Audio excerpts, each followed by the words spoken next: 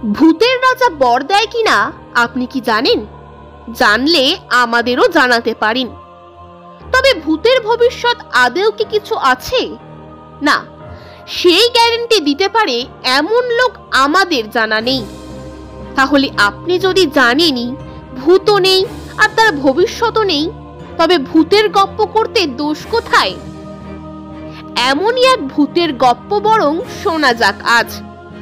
অবশ্য চুপি চুপি বলে রাখি, এ কিন্তু একদম খাঁটি সত্যি ভূতের গপ্প। আরে মশাই, এ তো একদম আপনার ঘরের কাছেই ডেরা বেঁধেছে ভূতে। আর আপনি টেরও পাননি তার?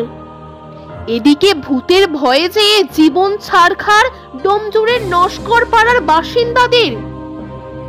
ঘরের দৌড়েই যে এমন আস্ত ভূতের দেখা পাবেন তা কি আর জানতেন হাওড়ার জাজেস কোর্টের দুধে উকিল বাবু কিন্তু নিজের বাড়িতে সিসিটিভির ছবি দেখেই তো আত্মারাম খাঁচা ছাড়া হওয়ার জোগাড় সকলের। বলছে কি তাহলে? নস্কর পাড়ায় উকিল বাবুর সিসি ক্যামেরায় একদম আস্ত ভূতের ছায়াছবি দেখে ও পাড়ার রাস্তায় রাতে লোক চলাচল বন্ধ এখন। সন্ধে নামতে না নামতেই রাস্তাঘাট একদম শুনশান। আর লোকজন সব সেদিয়ে যাচ্ছেন যে যার ঘরে। ও রাস্তা দিয়ে রাতে যারা বাড়ি ফিরতেন, তারাও বলছেন, রাতে ফাঁকা রাস্তায় কিসের যেন ফিসফাস? কে যেন ছায়ার মতন সরে যাচ্ছে পাশে। কে যেন পিছু নিচ্ছে মনে হচ্ছে। কেউ যেন মন থেকে ভয় ছেড়ে ফেলতেই পারছেন না। কি দেখা গেল? উকিল বাবুর সিসি ক্যামেরার ছবিতে?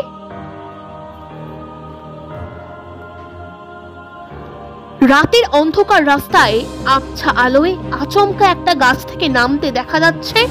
ছায়ার মতো কালো ধোঁয়াটে একটা অবয়ব।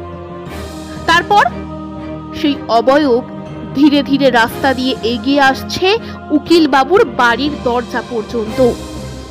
সেখানে এসেই থমকে দাঁড়িয়ে পড়ছে ছায়া অবয়ব। এই সময় একটি ইঞ্জিন ভ্যান রাস্তা দিয়ে যাচ্ছিল। আশ্চর্যের ব্যাপার, ইঞ্জিন ভ্যানটি কাছাকাছি আসতেই আচমকাই মিলিয়ে গেল ছায়াটি। এই দৃশ্য দেখে রাতের ঘুম ছুটেছে উকিল বাবুর পরিবারের। এমনিতেই ডোমজুড়ের নস্কর পাড়ার এই জায়গাটি খুব ফাঁকা ফাঁকা। অল্প কয়েক ঘর বাস করেন। একসময় জলাঘেরা এই জায়গায় খুন, জখম, আত্মহত্যার অনেক ঘটনাই ঘটেছে। এখন ভূতের আতঙ্কে দিশেহারা সকলেই। সত্যি কি এই একুশ শতকের ভরা বিজ্ঞানের যুগে ভবিষ্যৎ রয়েছে এই সত্যি ভূতের? এখন এই তর্কেই মুশকুল ডোমচুরবাসী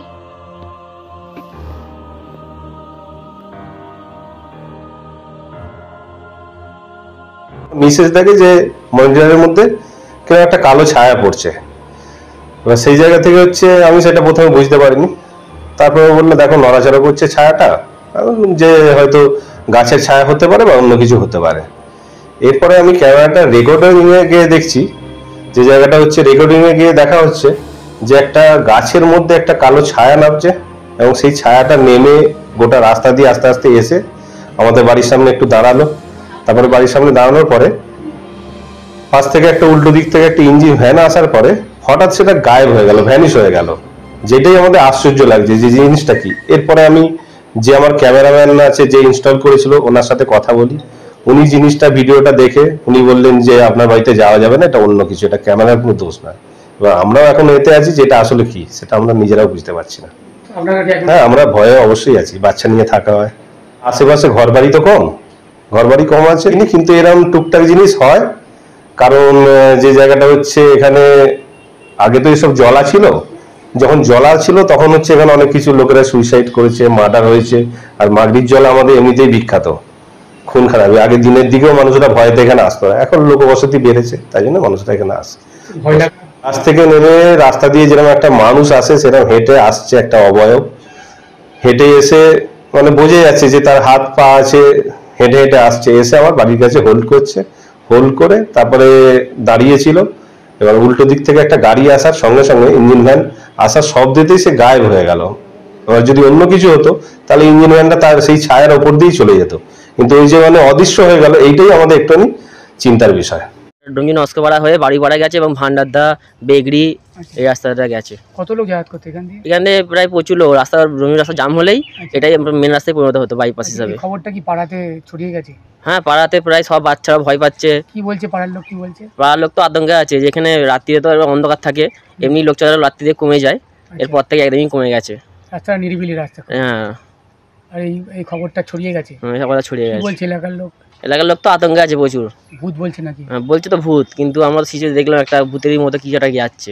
ফুটেজ দেখে বলতে আমরা ফুটেজের আগে থেকেই আমরা ব্যাপারটা অনুভব করছি।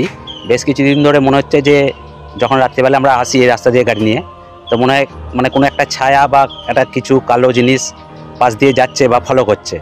ঠিক আছে? এটা তবু আমরা এটাকে অ্যাভয়েড করছিলাম কিন্তু সিসিটিভি ক্যামেরায় যখন জিনিসটা ধরা পড়ল তারপর থেকে আমরা শিওর হয়ে গেলাম যে এটা কিছু একটা আছে এখানে। যার কারণে এই জিনিসটা হচ্ছে।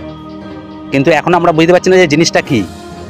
ঠিক আছে? পুরোপুরি একটা কালো ছায়া আমরা যেটা দেখছি, একটা কালো ছায়া মানে আমরা যেটা অনুভবও করছি এবং ক্যামেরাতেও যেটা দেখলাম সেম একই জিনিস, যে একটা কালো ছায়া এখান দিয়ে হাঁটাচলা করছে বা এদিকে ওদিক ঘোরাঘুরি করছে। কিন্তু জিনিসটা কি জিনিস সেটা আমরা এখনও বুঝতে পারছি না। এর আগে আপনারা চোখে কোনো ছায়া? হুম এর আগেও কয়েকবার দেখেছি আমরা রাত্রিবেলা যখন গাড়ি নিয়ে আসি দোকান থেকে আমরা বাড়ি ফিরি তো মনে হয় কেউ যেন দাঁড়িয়ে আছে। কিন্তু হুম কিন্তু যখন পাশে এসে যাই কাছ দিয়ে পেরিয়ে যাই তখন মনে হয় যে কিছু একটা পাশে দাঁড়িয়ে আছে বা কিছু একটা যাচ্ছে পাশ দিয়ে। এখানে কি রাস্তায় কোনো আলো নেই? না রাস্তায় এই অবধি আলো আছে এমনি পঞ্চায়েত থেকে এখানে কোনো আলো দেওয়া হয়নি এটা পার্সোনাল আলো লাগিয়েছে। কতজন এখানে বাস করে?